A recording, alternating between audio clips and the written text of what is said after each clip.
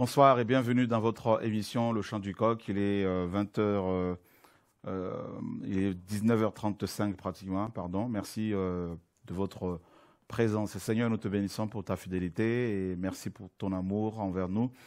Et ta grâce, Seigneur, nous fait, Seigneur, avancer dans la foi, dans la marche chrétienne, dans la vie de tous les jours. Seigneur, merci parce que face aux difficultés, face au combat, tu nous assistes, tu nous fortifies, tu nous guéris, Père très saint. Nous sommes venus, Seigneur, ce soir en plateau, Seigneur, pour euh, partager l'évangile. Nous sommes là, Seigneur, en plateau pour euh, proclamer haut et fort notre appartenance à ton royaume, Adonai, Dieu d'Israël. Nous te prions, Père de gloire. Amen. Voilà, mes amis, je ne suis pas seul ce soir, je suis avec euh, des bien-aimés, donc avec mon frère Hugues, mes frères Hugues et Rodrigue, ainsi que ma sœur Anne-Marie. Donc bonsoir hein, tout le monde. Voilà, gloire à Dieu. Voilà, donc euh, nous allons euh, parler comme d'habitude, hein, parler de notre Seigneur Yeshua, le Dieu de gloire, le Dieu des armées. Hier, on nous a euh, enseigné sur le Seigneur. Le thème était Voici l'homme. Et on a vu comment l'Église de l'Odyssée a, de manière délibérée, rejeté le Seigneur et chassé le Seigneur de son, hein, sein, hein, de son sein. Et le Seigneur se retrouve à la porte et il frappe, il frappe, il frappe, il frappe. Voilà, donc euh, bah, ce soir, euh, on va parler de quoi? Ben, Je ne sais pas encore, mais de toute façon, c'est le Seigneur qui nous guide à chaque fois. C'est lui, lui l'enseignant, hein, donc euh, à chaque fois, je ne sais pas, à chaque fois, je me prépare, je me mets à lire, à méditer pour avoir un, message, ben, à chaque fois, il n'y a pas. Voilà, donc le Seigneur me dit à chaque fois, tu ouvres ta bouche et puis ensuite, je la remplirai. Voilà. Que le Seigneur soit béni parce qu'il est vivant. Voilà, donc eh ben, nous sommes dans euh, le livre de 2 Corinthiens comme hier, au chapitre 4, à partir du verset 1 cette fois-ci. Voilà, alors je ne sais pas, je demanderai à, mon frère de nous faire la lecture. 2 Corinthiens 4, verset 1. C'est pourquoi, ayant ce service selon la miséricorde que nous avons reçu, nous ne, nous ne, nous, pardon, nous ne nous relâchons pas. Mais nous avons entièrement rejeté les choses honteuses que l'on cache, ne marchant pas avec ruse et ne falsifiant pas la parole de Dieu, mais nous rendons approuvé, mais nous rendons à toute conscience d'homme devant Dieu par la manifestation de la vérité. Verset 3. Si notre évangile est encore voilé, il ne l'est que pour ceux qui périssent pour les incrédules dont le Dieu de cet âge a aveuglé l'entendement. Verset 4, je suis. Afin qu'ils ne soient pas éclairés par la lumière de l'évangile de la gloire de Christ, lequel est l'image de Dieu. Verset 5. Car nous ne nous prêchons pas nous-mêmes, mais nous prêchons Jésus-Christ, le Seigneur, et nous déclarons que nous sommes vos esclaves par l'amour de Jésus. Mm-hmm.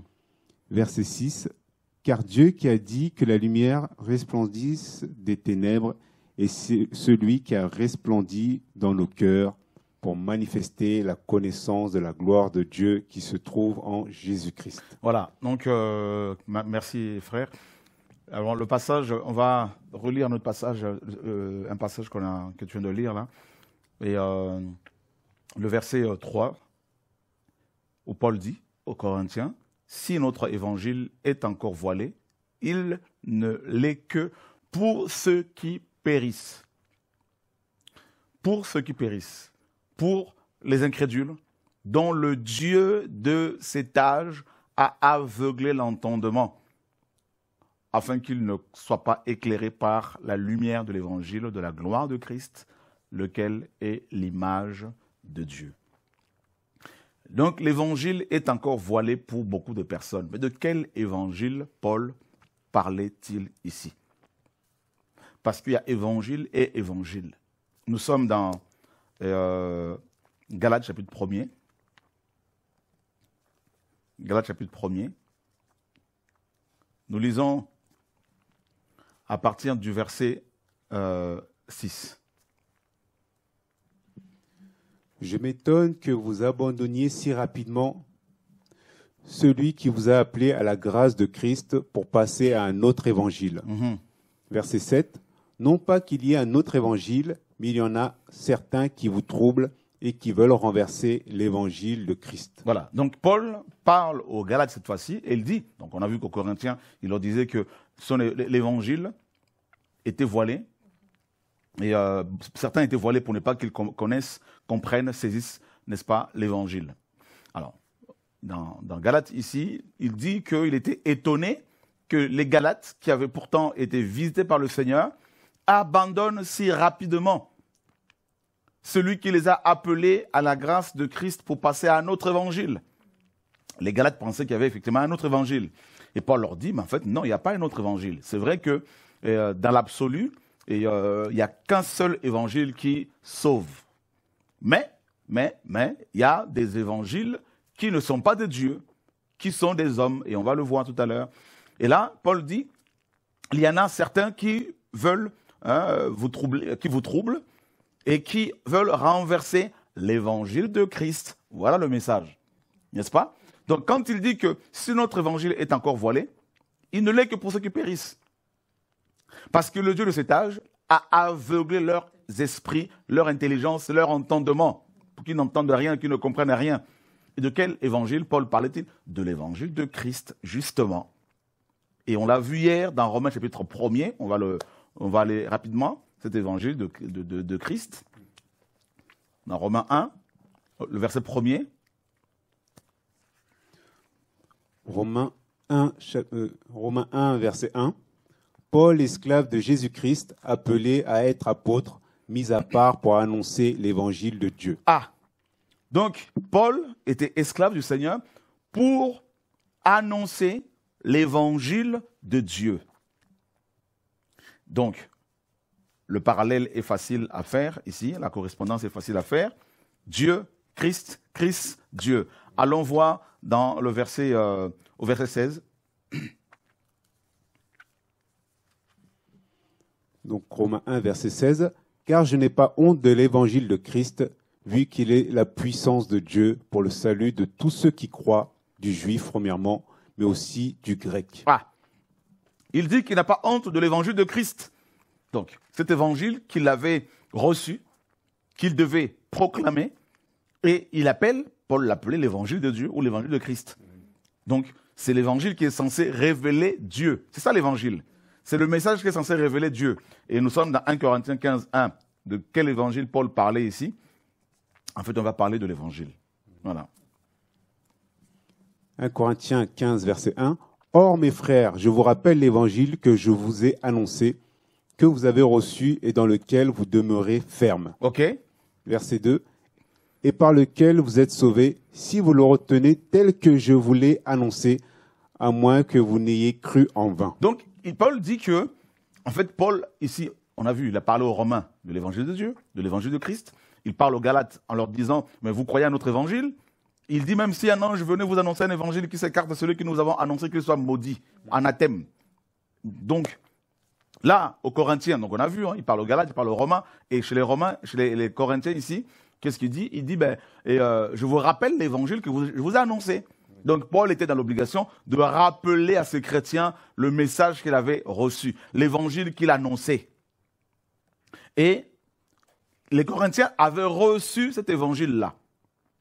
Et ils demeuraient fermes. Il est question de demeurer fermes dans l'évangile que les apôtres nous ont apporté, qui est l'évangile de Dieu. Dieu est Christ, Christ est Dieu. Voilà. Et ensuite, qu'est-ce qu'il dit au verset 2 Par lequel vous êtes sauvés. Donc c'est un évangile qui sauve, un évangile qui délivre. Sauvé de quoi? Sauvé de qui?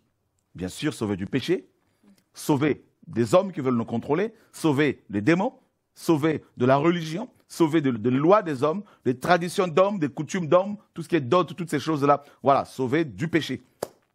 Et ensuite, il dit, si vous le retenez, donc il est question de retenir l'évangile tel qu'il nous a été annoncé. Et il dit, à moins que vous n'ayez cru en vain. Et qu'est-ce que cet évangile-là? On va le voir au verset 3. Verset 3. Car avant toute chose, je vous ai donné ce que j'avais aussi reçu, à savoir que Christ est mort pour nos péchés selon les Écritures. Ah, donc il présente d'abord euh, les bases hein, de cet évangile. Il dit qu'il a donné aux, Cor- aux Corinthiens ce qu'il avait reçu. Donc on ne donne que ce que l'on a. Et qu'est-ce que Paul a reçu? Paul a reçu son évangile, il le dit lui-même, directement de Dieu. Directement. Et bien sûr, il, était aussi, euh, il avait aussi la connaissance des écrits hébraïques. Et donc, il pose la base ici, la, première base. Il dit car avant toute chose, je vous ai donné ce que j'avais reçu, à savoir que Christ est mort pour nos péchés selon les Écritures. Donc il parle de la mort du Christ. Et quand on parle de la mort de Christ, on, on voit beaucoup de choses. On y voit la rédemption, c'est-à-dire la délivrance par le paiement d'une rançon. On y voit, euh, mes amis, euh, l'amour de Dieu. On y voit et, euh, la bonté de Dieu. On y voit la grâce. Et tout ça. Donc on parle de l'agneau de Dieu. On y voit le salut, la restauration et le, le, le fait que l'acte qui nous condamnait a été effacé, hein, et, totalement effacé. Ça, c'est voilà, la, la croix. Donc, ici, les questions de la croix. Paul dit que le fondement de l'évangile qu'il annonçait, c'était la croix. La croix. Parce que sans la croix, eh ben, il n'y a pas de restauration. Sans la croix, il n'y a pas de libération. Sans la croix, il n'y a pas de délivrance. Et la croix, elle représente, bien sûr, aussi notre propre mort. Parce qu'un seul, Paul dit si un seul est mort, tous sont morts. Donc, quand il dit que cet évangile est basé sur la mort du Seigneur, il parle aussi de notre propre mort. Mort par rapport au péché, bien évidemment. Donc, ça renverse la doctrine de la super grâce que Satan a inspiré aux chrétiens, aux religieux, hein, aux docteurs, aux théologiens, en leur faisant croire que ben, une fois que vous avez reçu Jésus-Christ dans votre cœur, vous pouvez pécher volontairement et il n'y a pas de problème parce que Dieu va vous pardonner. Deuxième base de l'évangile que Paul a posée, donc dans la suite, au verset 4. Euh, verset 4. Et qu'il a été enseveli et qu'il est ressuscité le troisième, jour selon les Écritures. Donc il a été enseveli hein, et qu'il est ressuscité le troisième jour selon les Écritures. Regardez ici, moi j'apprécie vraiment le discours de Paul. Vous allez constater que Paul disait à chaque fois selon les Écritures. Mais quelles Écritures? Quelles Écritures? Parce que c'est lui qui a écrit la plupart des, Écritures hein, de la Nouvelle Alliance. 13 lettres au moins. Mais de quelles Écritures Paul parlait? Il est ressuscité selon les Écritures. Eh bien, évidemment, il est question des écritures hébraïques. Donc, l'évangile de Paul avait aussi pour fondement les écrits hébraïques. Parce que les prophètes qui ont prophétisé, regardez, on va prendre 1 Pierre 2 par exemple, 1 hein, Pierre 1, 10. Parce que beaucoup de chrétiens pensent que, et euh, mes amis, euh, et, euh, Paul négligeait les autres prophètes, Isaïe, tout ça, alors que son évangile avait, avait une base solide. Hein. Hein, il n'y avait pas que les révélations qu'il avait reçues, mais il y avait aussi les écrits que les autres avaient reçus. 1 Pierre 1,10. C'est au sujet de ce salut que les prophètes qui ont prophétisé concernant la grâce qui vous a été destinée mhm. ont fait leurs recherches et leurs investigations. Mhm. Verset 11. Ils voulaient sonder l'époque et les circonstances marquées par l'Esprit de Christ qui était en eux. Et qui rendaient à l'avance témoignage leur faisant connaître les souffrances de Christ et la gloire dont elles seraient suivies. Donc, vous voyez ici, Pierre nous fait comprendre que les prophètes qui ont prophétisé avant eux, donc Ésaïe, Enoch, tous ces prophètes, Michée, tout ça là, et Joël, ils ont parlé de la mort et de la résurrection de Jésus-Christ de Nazareth. Donc en fait, et, euh, Paul dit clairement que ben, lui, il s'est basé sur les Écritures. Donc, à chaque fois qu'il disait quelque chose, il disait selon les Écritures, notamment dans 1 Corinthiens 15. Donc, il il s'appuyait fortement sur les Écritures. Mais malheureusement, aujourd'hui, il y a un autre évangile qui est proclamé dans les églises, ça vous le savez malheureusement. Un évangile qui n'est plus basé, qui n'est pas basé sur les écrits, mais basé sur les traditions d'hommes. Tradition d'hommes. Tout est une affaire de tradition d'hommes. Et l'évangile dont il est question dans les Écritures ici, c'est l'évangile de Christ. on nous parle de la souffrance ou des souffrances de Christ et de la gloire dont elle serait suivie. Donc les souffrances sont, mes amis, euh, euh, comment dire, ça doit être quelque chose qui doit nous, nous, suivre, quelque chose qui doit, être, qui, doit, faire partie de notre vie chrétienne, quotidienne, et un évangile dépourvu de la souffrance, du rejet, des outrages, des insultes, des critiques, n'est pas de Dieu.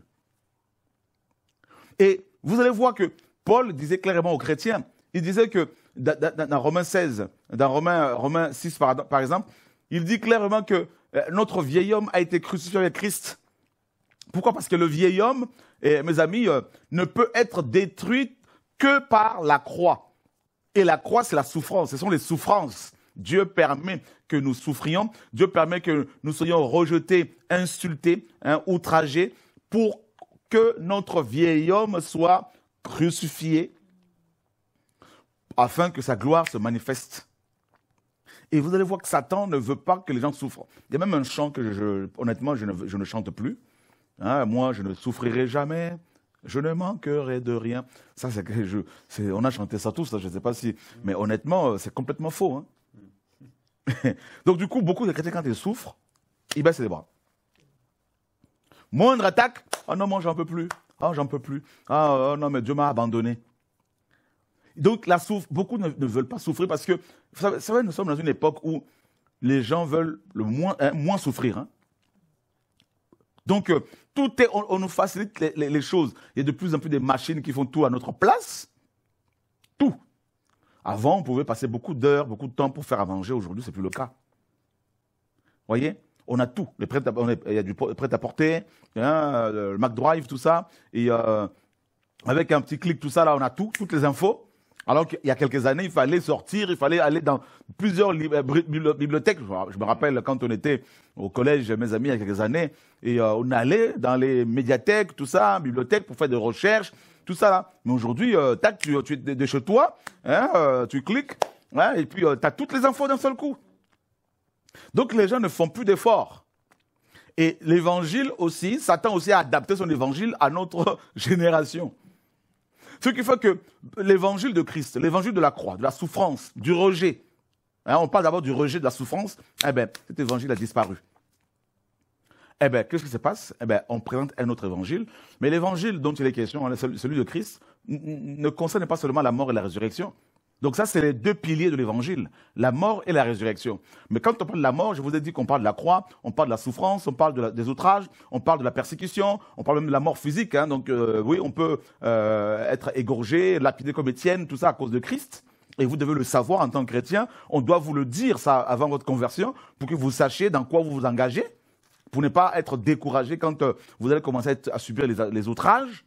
Hein, euh, vos filles, vos enfants peuvent vous délaisser, votre fille peut vous abandonner, vous critiquer, vous traiter de tous les noms, votre fils peut vous, peut, vous délaisser, votre mère peut vous abandonner à cause du Seigneur, tout ça, votre mari peut euh, vous tromper, votre femme peut partir de la maison à cause de votre conversion, hein, juste parce que vous êtes converti. Donc, il faut que vous soyez avertis en tant que chrétien. C'est ça, c'est cela l'évangile de Christ. Et donc, il n'y a pas que la croix, il n'y a pas que les souffrances, il y a aussi, bien sûr, le deuxième pilier, c'est la résurrection. Hein? La résurrection nous parle de quoi? En fait, la résurrection nous parle de la nouveauté de vie, hein, d'une vie nouvelle. Une vie nouvelle. C'est-à-dire, le vieil homme meurt et le nouvel homme se lève. Donc, vous avez cet évangile. Hein. donc, en fait, dans l'évangile de Christ, nous avons deux piliers, la mort et la résurrection nous avons deux hein, euh, hommes, donc le vieil homme que la croix détruit, vous avez le nouvel homme que la résurrection réveille. Voyez? Donc, euh, et, ça, c'est Paul le dit, il parle du nouvel homme. Il dit, hein, donc vous devez être euh, des hommes parfaits. donc le nouvel homme que Dieu a créé à l'image de Christ. Donc voilà les deux hommes dont il est question, hein, donc les deux fondements de la croix, le vieil homme, la, mort, hein, et le nouvel homme, la résurrection. Et dans la résurrection, on parle aussi, euh, on parle d'ailleurs il y a même une, fête dans les Écritures, il y, avait, il y en avait sept en tout, l'une de ces fêtes, c'était la, fête des prémices. Et en fait, la croix, vous avez deux fêtes aussi, hein, euh, l'évangile pardon, concerne deux fêtes fondamentales. Vous avez la Pâque, ça c'est le premier pilier, et vous avez les prémices, le deuxième pilier. Donc c'est cela l'évangile. Donc il y a la Pâque, il y a les prémices, la résurrection. Et maintenant la résurrection, euh, c'est quoi? C'est la, nouvelle vie, il n'y a plus de liens familiaux, hein, il n'y a plus de, euh, maladies euh, ancestrales, tout ça. Et Paul dit dans 2 Corinthiens 5, 17, on va le lire, c'est un passage que vous connaissez tous.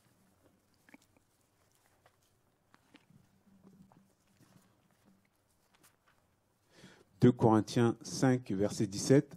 Si donc quelqu'un est en Christ, il est une nouvelle créature. Les choses anciennes sont passées. Voici, toutes choses sont devenues nouvelles. Waouh Effectivement, donc on, voit ici, là, là, ici, Paul parle de la puissance de la résurrection. Et euh, la puissance de la résurrection, c'est cette vie nouvelle que Dieu nous donne.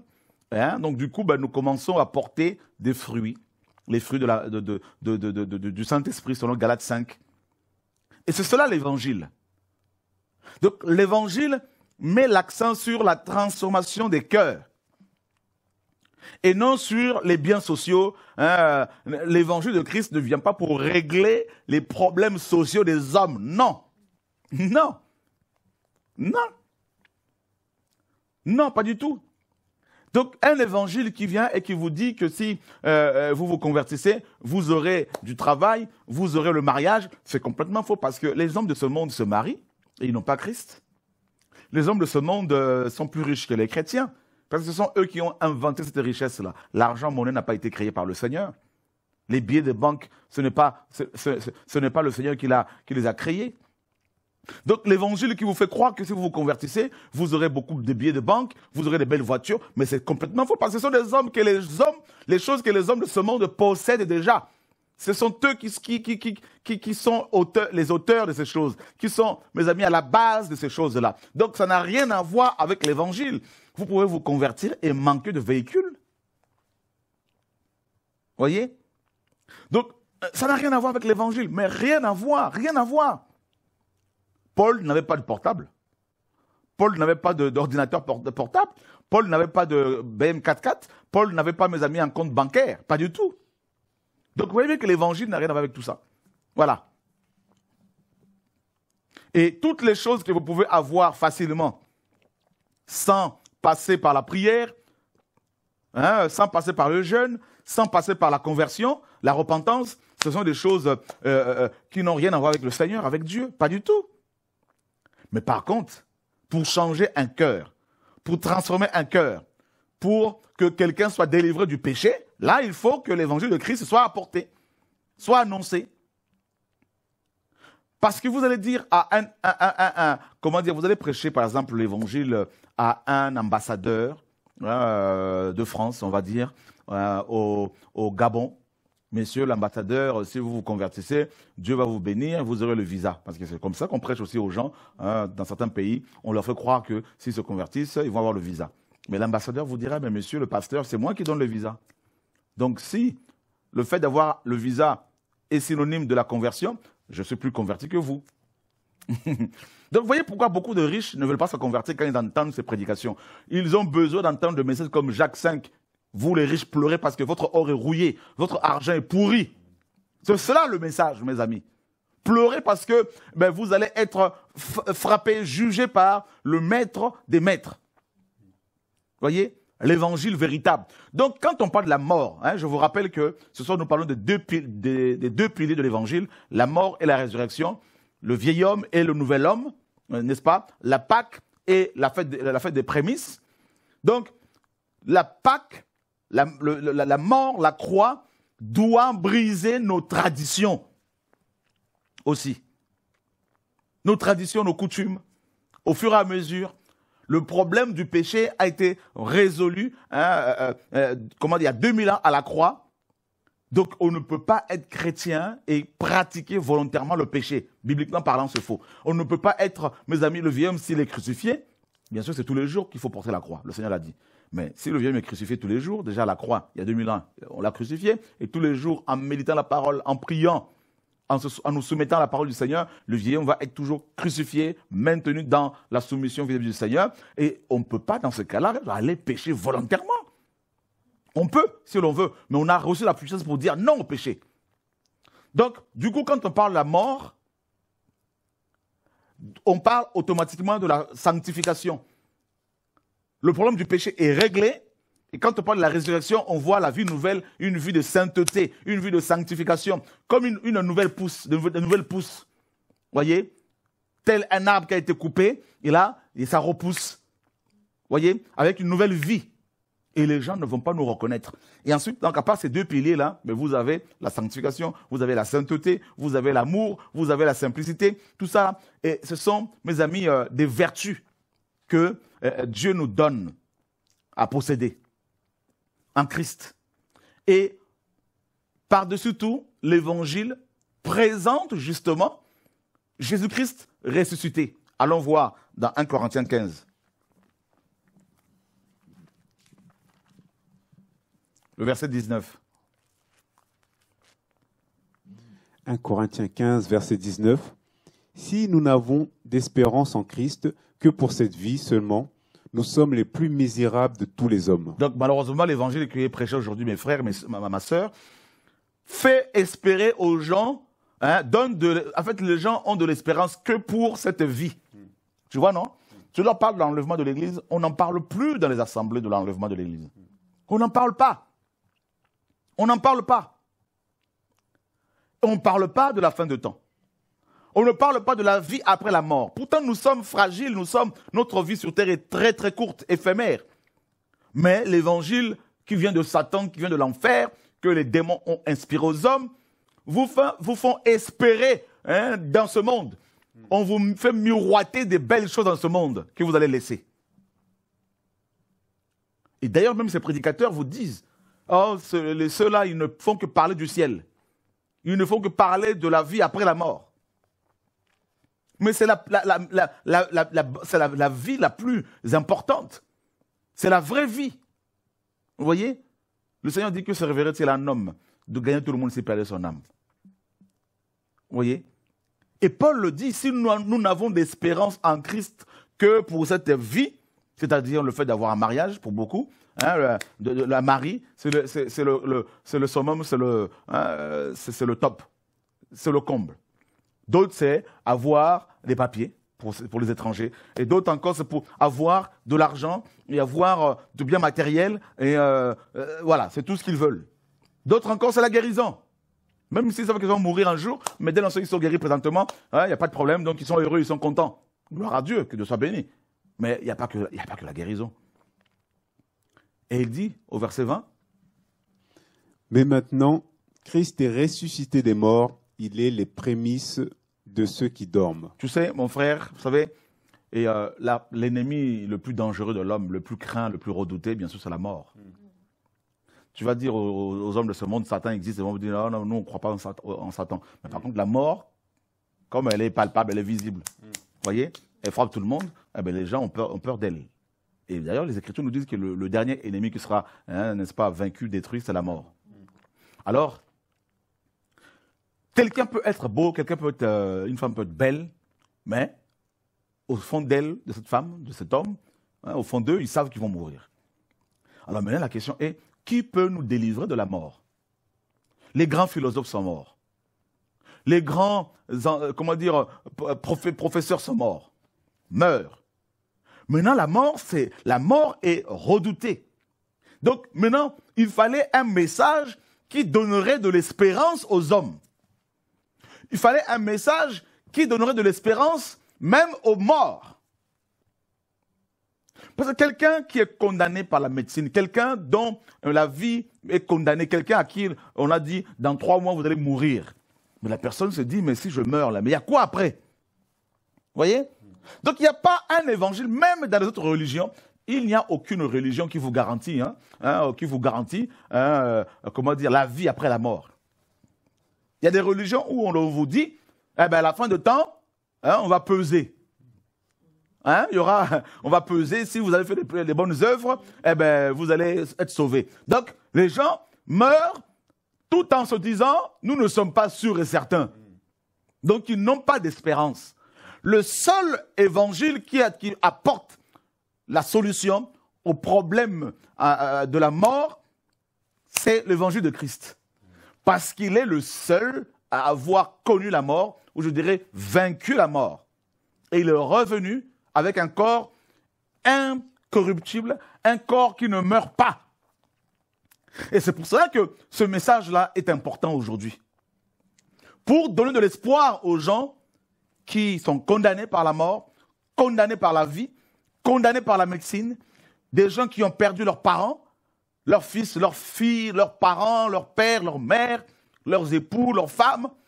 Ces gens-là ont besoin d'entendre qu'après cette vie, il y a une autre vie et que l'on peut avoir la certitude du salut, de la vie éternelle avant de mourir.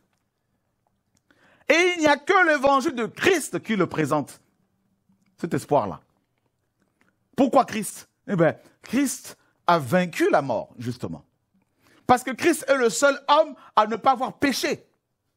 Mais cet évangile-là ne plus proclamé. Comment voulez-vous que les gens ne pêchent pas dans les églises Parce qu'ils n'ont pas, on ne leur présente pas le modèle parfait? Tout ce qu'ils voient, c'est des bishops qui aiment l'argent. Tout ce qu'ils voient, c'est des pasteurs qui sont fonctionnaires. Et c'est pour cela qu'il faut l'évangile qui parle de la résurrection. Qu'est-ce que la résurrection, mes amis? Regardez ce que Paul dit. La suite. J'étais au verset 20, c'est ça mhm. Verset 20. Mais maintenant, Christ est ressuscité des morts, il est les prémices de ceux qui dorment. Car puisque la mort est venue par un seul homme, c'est aussi par un homme qu'est venue la résurrection des morts. Verset 22. Car comme tous meurent en Adam, de même aussi tous seront vivifiés en Christ. Voilà. Donc vous voyez, notre ancêtre Adam, comme vous le savez, nous a transmis la mort. Maintenant, Christ est venu pour sauver euh, l'humanité condamnée par la médecine, condamnée par la mort, condamnée par le péché. Et la puissance de la résurrection, vous savez, c'est la puissance qui, n'est-ce pas, euh, euh, qui se manifeste dans la vie hein, au sein de l'Église biblique, la vraie ecclésia. Vous savez, la mort, écoutez bien la mort. La mort, c'est quoi, frère? C'est quoi la mort? La mort est comme une gangrène. Quand la mort touche un corps, plus rien ne fonctionne. Plus rien ne fonctionne. C'est ça la mort. La mort paralyse le corps. La mort bloque tout. La mort éteint la lumière de l'homme. La mort euh, apporte la pourriture. La mort finit par te manger, par faire disparaître même ton corps. C'est ça la mort. Donc elle paralyse, elle euh, détruit, elle mange le corps,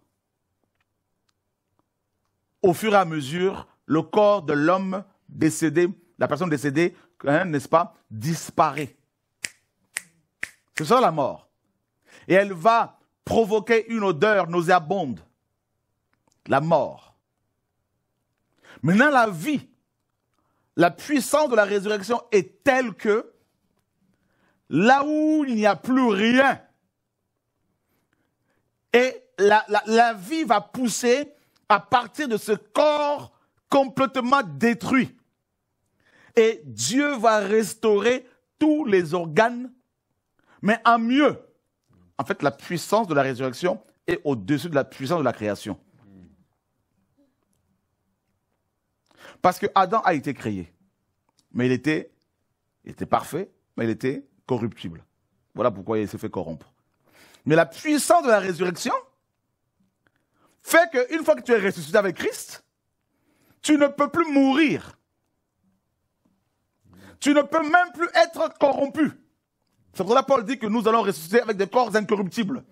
Voilà la puissance de la résurrection. Et c'est cette puissance-là que Dieu a donnée à l'Église. Donc, prêcher un évangile sans la puissance de la résurrection, mais personne ne sera convaincu du péché. C'est la puissance qui chasse les démons. C'est pour cela que vous allez voir, mes amis, en prêchant l'évangile, on n'a pas forcément besoin de toucher les gens. Les gens sont touchés. En fait, la puissance de la résurrection, c'est l'esprit du réveil. C'est la puissance du réveil. Le réveil, c'est quand on, sort du sommeil. Hein. C'est pour ça que l'Église est née avec le réveil. Dans le réveil, l'Église a fonctionné dans la puissance du réveil. Partout où ils allaient, les membres qui étaient estrophiés, les membres qui étaient cassés, les, organes qui étaient malades, les apôtres ont dit que les mouchoirs de Paul, l'ombre de Pierre, l'ombre était imbibée de la puissance qui restaure. C'est pour ça que je dis, frères et sœurs, nous ne courons pas après les miracles. Non.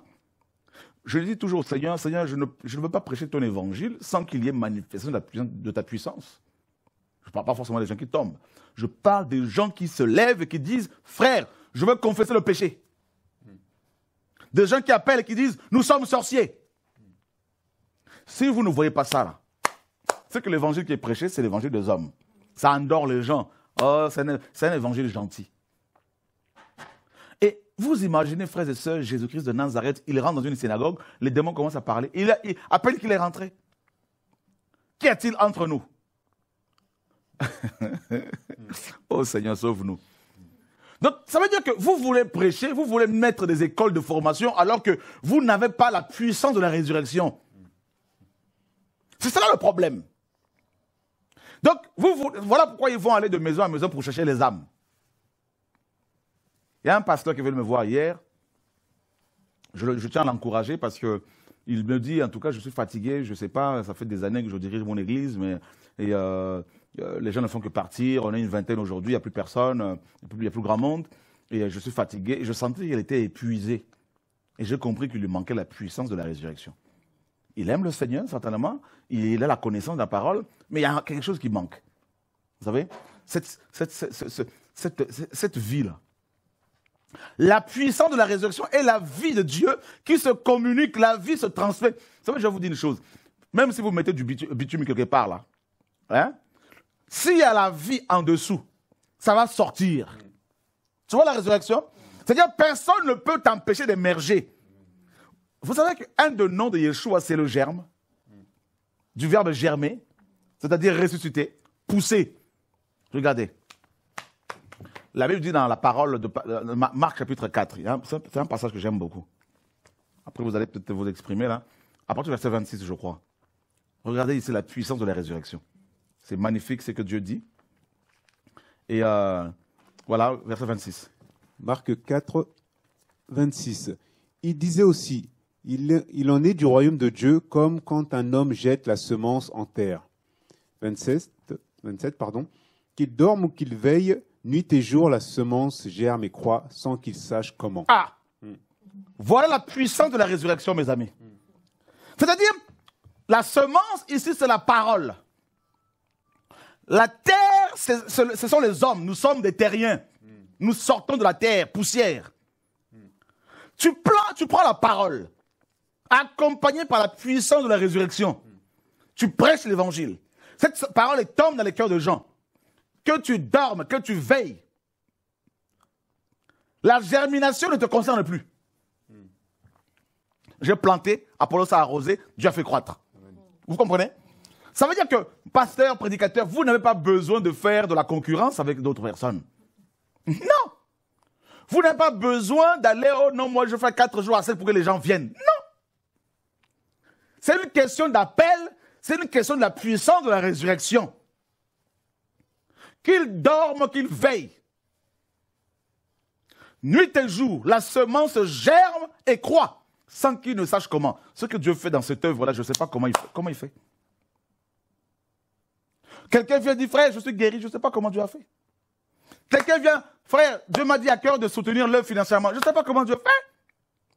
Je ne sais pas comment. Quand tu, si tu sais comment, Dieu n'est plus là. Si tu sais, chaque mois, je vais avoir des dîmes des gens parce que nous sommes 100 dans l'église. Chacune va donner 100 euros, nous aurons 10 000 par mois. Alors on a un budget. C'est la religion. Avec la puissance de la résurrection l'évangile de Christ, on ne sait pas comment. En fait, quand tu nages là, dans les eaux profondes, là, tu n'as pas pied. Si tu as pied, c'est que cette rivière-là n'est pas du Seigneur. La puissance de la résurrection, ce sont les vagues, ce sont les courants d'eau qui t'entraînent. Ce n'est pas toi qui conduis nuit et jour. La semence germe et croît. Mon Dieu, sans qu'il sache comment. Car la terre produit d'elle-même. Dieu ne se fait pas aider. Vous voyez, frères et sœurs, la parole du Seigneur, l'évangile. La terre produit d'elle-même. Tu n'as pas besoin de dire non, c'est moi qui t'ai amené au Seigneur. Si vous entendez quelqu'un vous dire c'est moi qui l'ai amené au Seigneur, quittez ce monsieur-là? Personne n'amène personne au Seigneur. Alléluia. Oh Dieu. Celui qui t'amène au Seigneur, il va se glorifier. Oh, je suis ton père spirituel. C'est grâce à moi que tu t'es converti. Menteur. On nous dit que c'est Dieu qui fait. C'est Dieu qui attire les gens. Le Seigneur dit, personne ne peut venir à moi si le Père ne le traîne, littéralement. La terre produit d'elle-même. Premièrement, l'herbe. L'herbe. Il y, a, plusieurs étapes. Ensuite, l'épi. Et puis, le grain formé dans l'épi. Mon Dieu. Et quand le fruit est mûr, oh, on y met aussitôt la fossile parce que la moisson est prête. Voilà la, oh, la moisson. Il y a une troisième fête qui rentre en compte ici. C'est la Pentecôte. La fête de semaine ou la fête de, moisson. Hein? Voyez, hein? Donc, le réveil, la moisson, tout le monde veut te manger. Tout le monde veut t'approcher. Ah ben, alors que tu es un homme moche, mais toutes les femmes veulent t'épouser. le secret du royaume, c'est la présence de Dieu. C'est l'évangile, frères et sœurs. L'évangile de Christ nous fait. C'est une grâce inestimable. Waouh! Voyez, mes amis? C'est-à-dire, ça c'est tout un message qu'il faut préparer encore, mes amis, là, les étapes de la croissance spirituelle. Et là, là c'est la puissance de la résurrection. Il y a la germination. C'est Dieu lui-même qui fait l'œuvre. Et c'est pour cela, là, les gens qui vont combattre cette œuvre-là, là où il y a la puissance de la résurrection, ils vont mourir avant le temps. Ils vont mourir. Nous, on a vu ici, hein, ceux qui se disaient apporter l'équilibre. Dieu les a arrachés.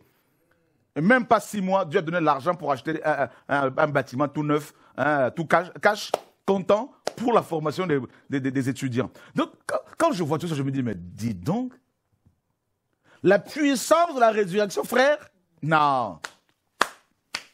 Vous imaginez que quand la résurrection aura lieu, la Bible dit que la mer va rendre tous les morts qui sont en elle. Vous vous rendez compte? La mer, c'est-à-dire les, morts qui sont jetés dans la mer, là, les poissons les ont mangés. Mais quand la puissance de la résurrection va se manifester véritablement, tous les poissons vont vomir, c'est-à-dire les poissons qui sont morts. Les, poissons ont mangé les humains qui sont morts, eux tous aussi, et les poissons et les humains sont morts. Depuis des années, depuis des milliers d'années. Maintenant, quand Yeshua va revenir, là, il va dire maintenant sortez, mère, rends-moi tous les morts. Donc ça va commencer par les poissons là, qui étaient morts, là, qui vont se être ressuscités d'abord, et ils vont vomir les morts, les hommes qu'ils ont mangés. oh mon Dieu. Et Dieu va dire, la terre, vomis-moi tout ça.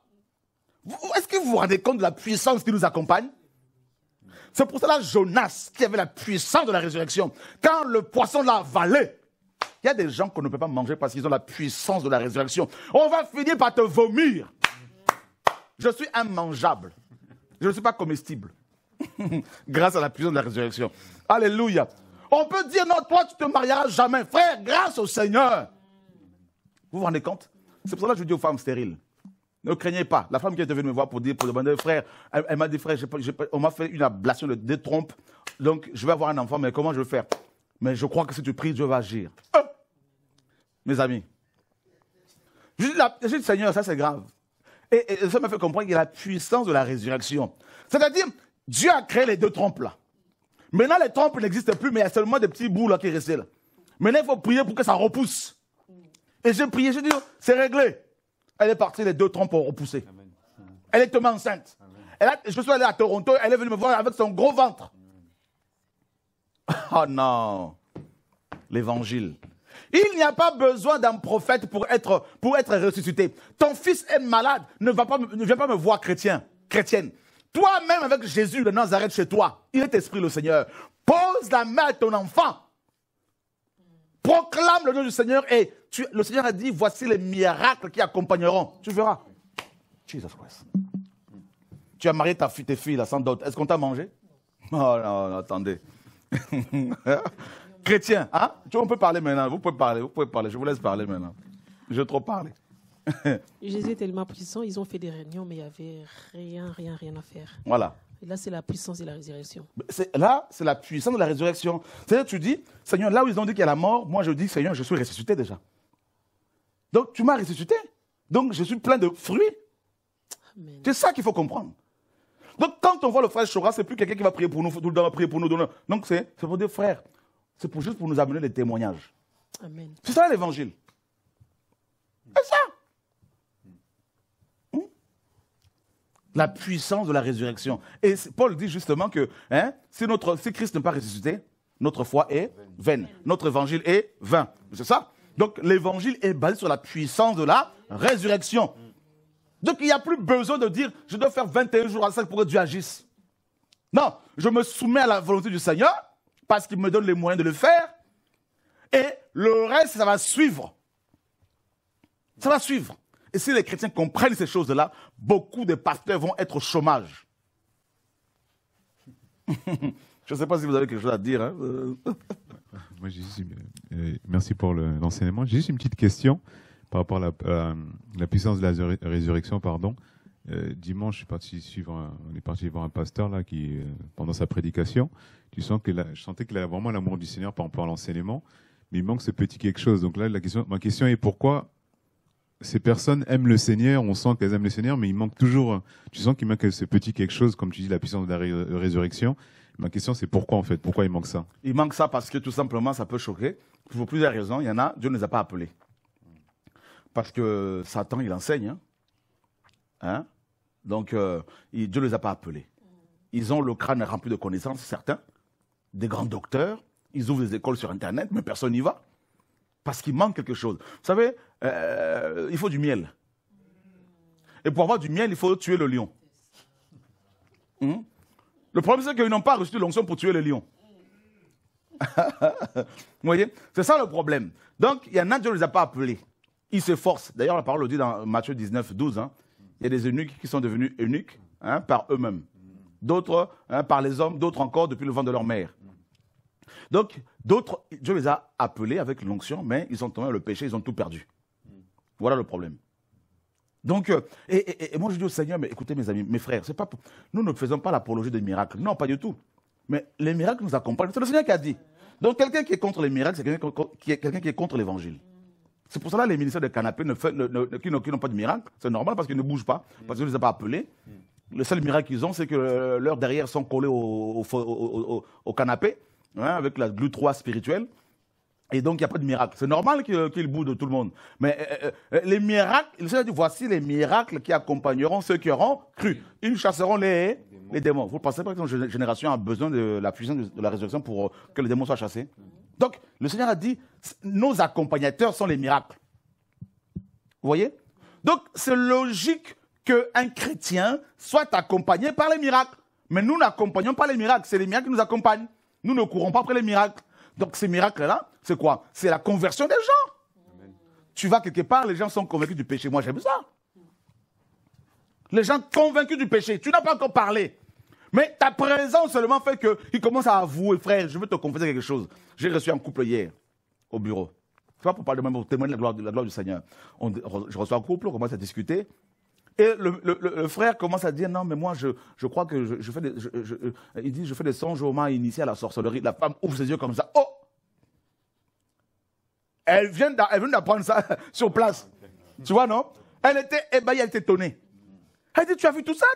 Elle était choquée. Moi, dans mon cœur, je disais La présence de Dieu. Le monsieur parlait, parlait, parlait. Quand il a fini, je dis, on va prier pour votre délivrance à côté là. non, le Seigneur est trop fort. Je ne veux pas d'un évangile qui m'endort. Non. Non.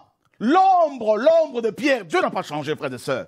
Quel est l'évangile que vous prêchez là? La Trinité? Regardez-moi les Trinitaires, là, mes amis. La Trinité, ils sont là assis sur leur canapé là, ils parlent de la Trinité. C'est normal, il n'y a aucune puissance. Aucune puissance. Aucune puissance. Hmm? Les démons connaissent la vraie puissance de Dieu parce qu'ils la, la voient se manifester dans la, vie des enfants de Dieu.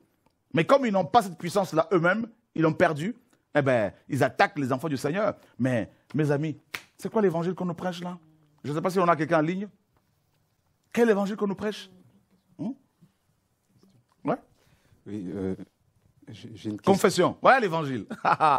c'est, c'est- c'est du tac au tac, hein, mes amis. Ah oui. C'est du tac au tac. Je vous dis ce soir, là, chez, chez les gens, vous allez voir, il y a des gens qui vont appeler tout à l'heure, là. Je suis convaincu de cela, qui sont guéris. Chez eux. Allô, bonsoir. Allô, bonsoir. Oui, allô, bonsoir. Oui. Voilà, je voulais confesser. Oh. Oui, bonsoir, je voulais confesser un péché. D'accord.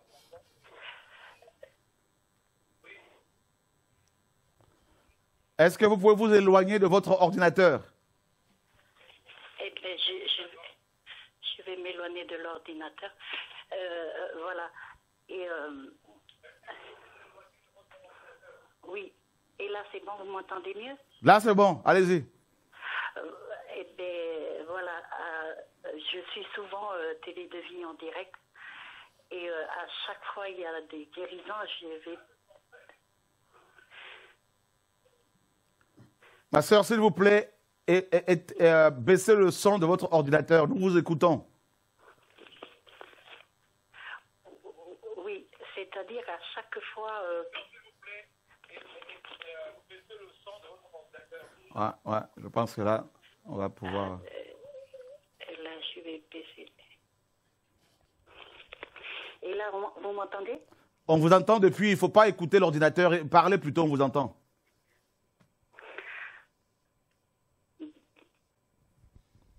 Allô Bon, faites, faites signe avec elle parce que là, on ne va pas s'en sortir après.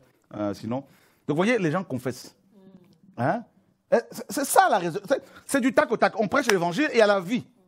Donc, pendant que tu parles, la vie de Dieu se répand. Les gens sont convaincus du, convaincus du péché. Les démons sont chassés. Les gens vomissent chez eux. Les démons, ils partent. Les gens qui étaient alités dans les hôpitaux même hein, se lèvent et se mettent à marcher. C'est ça l'évangile, mes amis. Dieu n'a pas changé.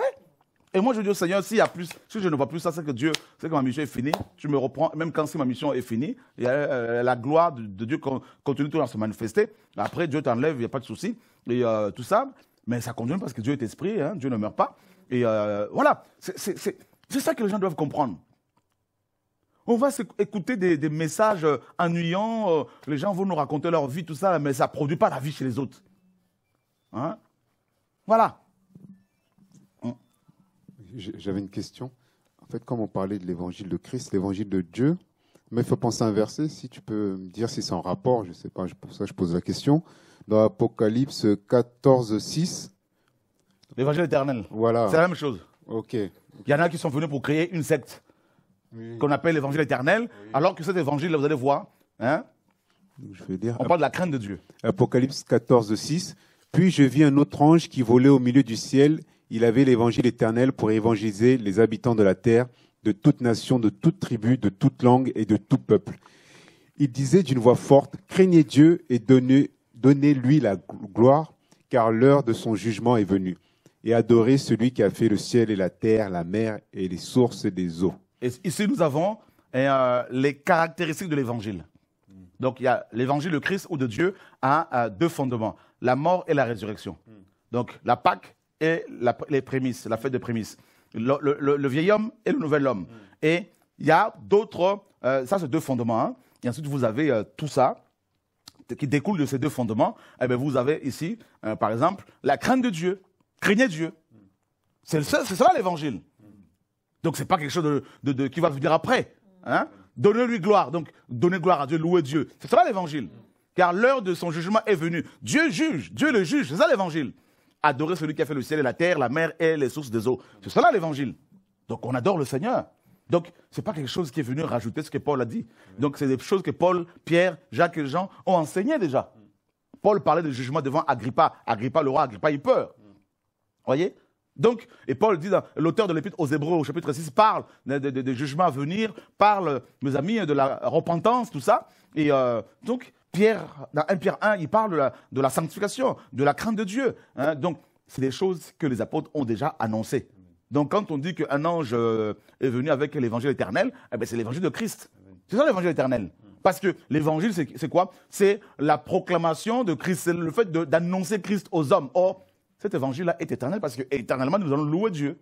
Éternellement, nous allons chanter pour le Seigneur. Donc, ce n'est pas quelque chose qu'un prophète a reçu au Congo là-bas et qui euh, euh, serait, euh, comment dire, une exclusivité, hein. donc quelque chose d'exclusif, d'exclusivement congolaise, tout ça là. Donc, c'est complètement charnel. Allô? Allô, oui, bonsoir. Oui, bonsoir. Voilà, alors, voilà, je voulais me confesser. Allez-y. Alors, je voulais demander pardon à Dieu parce que chaque fois que je vois le frère Chora à, la télé, quand il prie, je lui touche souvent la main pour recevoir des dons de guérison. Et eh bien, cette nuit-là, le Seigneur m'avait montré que je courais après le frère Chora, le frère Chora fuyait. Et, euh, quand je me suis réveillée, chaque fois que je courais après, il fuyait. Et quand je me suis réveillée, j'avais compris que je suis en train d'idolâtrer. Voilà. et je voulais demander pardon au Seigneur. Seigneur, pardonne-moi et pardon au frère Chora. Merci, ma soeur. Voilà. béni. Et, et puis, j'ai autre chose aussi à demander au Seigneur. Je voulais demander au Seigneur d'ouvrir mon intelligence parce que je vais passer un examen nucléaire.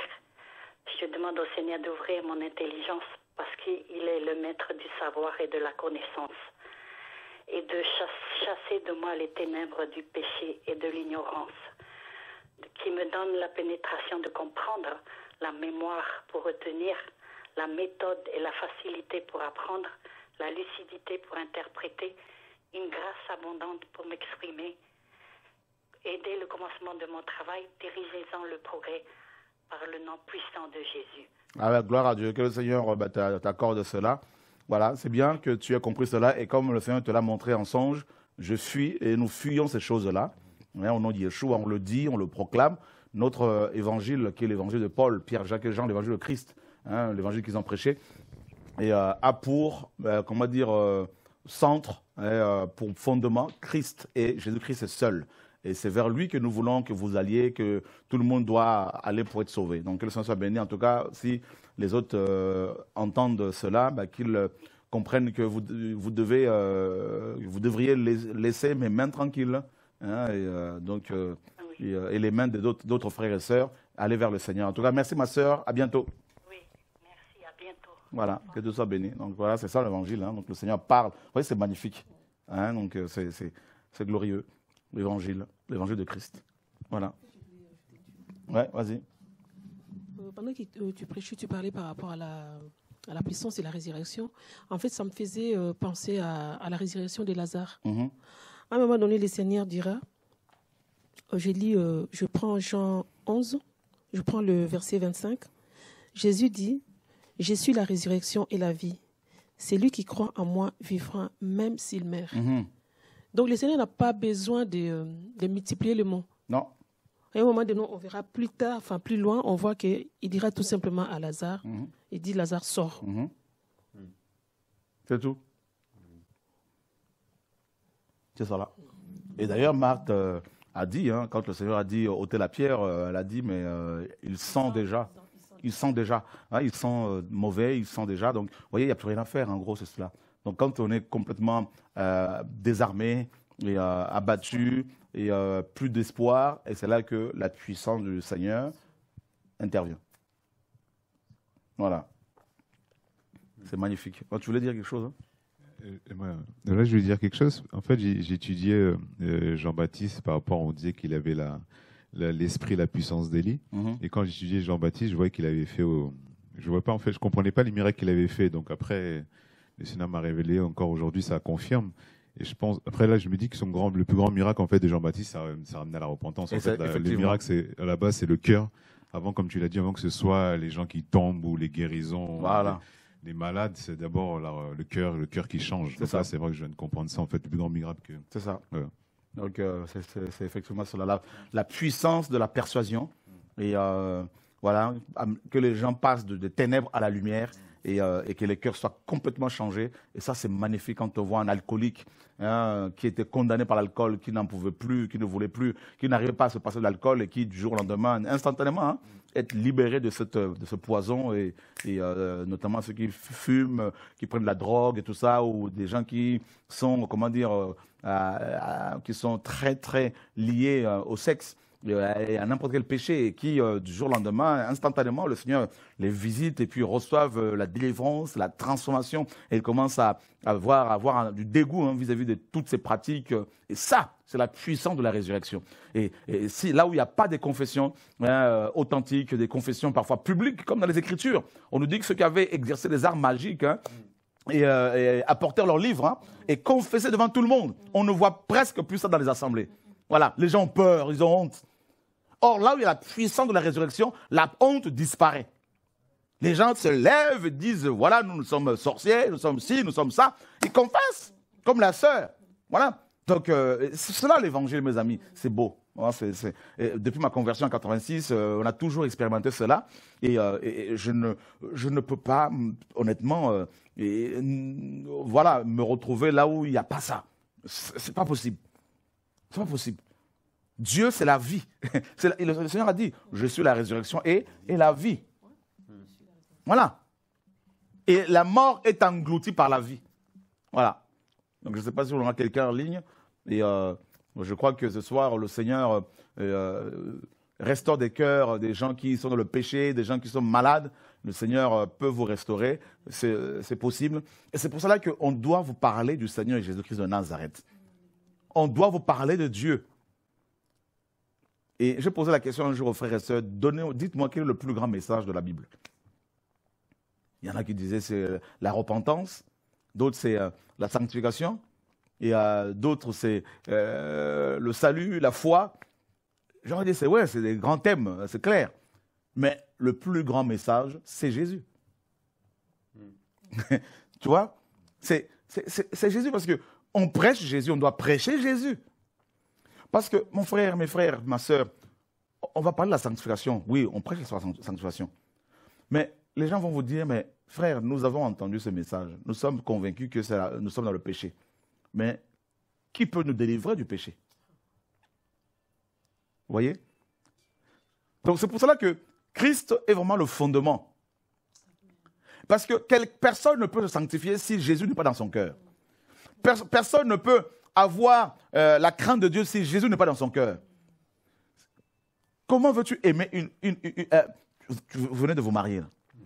Mais euh, comment vous ne pouvez pas vous marier avec, vos femmes, qui certainement nous suivent ce soir, si vous ne les avez pas vues, si vous ne les avez pas entendues. Donc on ne peut apprécier quelqu'un que si on l'entend, si on le voit. Donc c'est pour cela que le plus grand message, c'est Christ.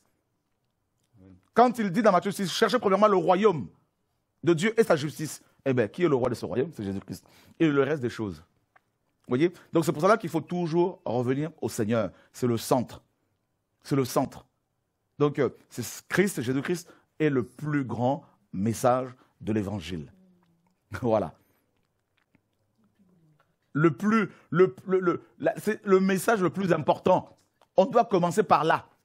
C'est pour cela que les apôtres ont annoncé Christ. Ils ont Parce qu'on va vous prêcher sur les bénédictions. attendez, attendez. Attendez, ils commencent par. Non, parler aux gens de Christ. On dénonce le mal, oui. On dénonce le faux pasteur, oui. Mais présentons plus Jésus-Christ de Nazareth. Parce que c'est celui qui change les cœurs. On a quelqu'un en ligne, certainement. Allô, bonsoir. Allô, bonsoir. Oui. Oui, c'était pour me, confesser. D'accord. Donc, euh, je demande pardon au Seigneur Jésus-Christ pour euh, l'impudicité et la masturbation. Que Dieu soit béni, mon frère. Bon courage, en tout cas. Que Dieu te délivre de ce péché au nom de Jésus-Christ. Amen. Voilà, bonne continuation. Vous voyez l'évangile? Chez eux, les gens ce soir sont saisis. Saisis. On regarde la télévision, il y en a qui sont délivrés au nom de Yeshua, des démons qui sortent au nom de Jésus-Christ, hein, des gens qui peuvent vomir leurs péchés, vomir leurs leur euh, démons, leurs maladies, tout ça là. Ça sort. Voyez et, et c'est cela l'évangile. On fait une réunion, une réunion qui commence à 14h, les gens commencent à venir à 8h du matin. Mais qui convainc tous ces gens? Pourquoi ils viennent que Les gens ont soif? Vous voyez, ça Oh Seigneur, sauve-nous. Sauve-nous. Parfois, avant même le commencement de la réunion, les gens sont guéris déjà. Guéris. Délivrés.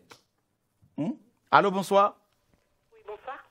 Oui, euh, je voulais réagir par rapport au message qui, a été pour moi en tout cas le plus important.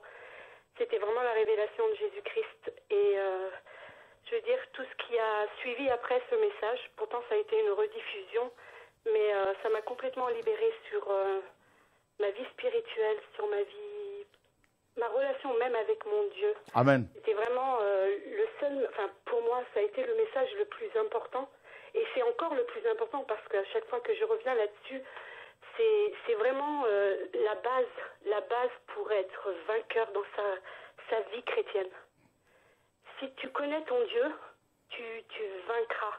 La Bible le dit, si tu connais ton Dieu, tu vaincras. Mhm. Bien sûr, on ne le connaît pas parfaitement, on le connaîtra plus tard parfaitement, mais le peu que le Seigneur nous a révélé de lui, le peu qu'il a qu'on ait pu avoir de, de révélation de ce qu'il est, change, change notre façon de vivre et nous, nous oblige, nous oblige à, la piété, nous oblige à la, sanctification. Je pense, pour ma part en tout cas, le, message le, plus, tout est important, mais ce message-là, c'est vraiment celui qui, qui révèle aux gens qui est Dieu. Et l'essence même de Dieu, c'est après te donne la sanctification, t'oblige à la sanctification. Force à bas. Voilà. Gloire à Dieu. Que Dieu soit béni pense que lisez votre Bible. Amen. Et, puis le Seigneur fait le reste, il révèle. Amen. Gloire à Dieu. Voilà, merci. Merci ma soeur. Et euh, je lisais un passage euh, tout à l'heure à la maison, dans le psaume 119, 130. Et, euh, et le Seigneur, David disait quelque chose de très très fort hein, dans ce passage.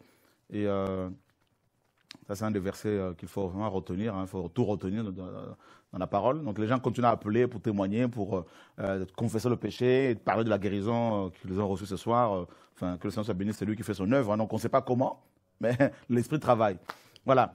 David dit, l'ouverture de tes paroles apporte la lumière.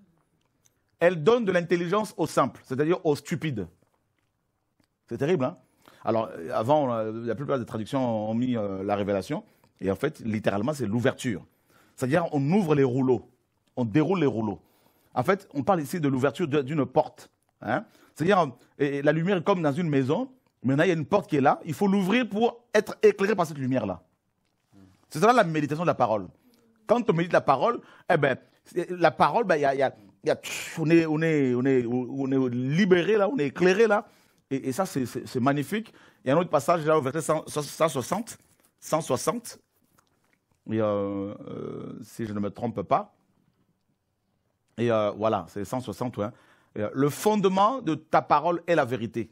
Et toutes les lois de ta justice sont éternelles. Le fondement ici, en fait, c'est roc, hein, roche, pardon, en hébreu, qui signifie d'abord tête.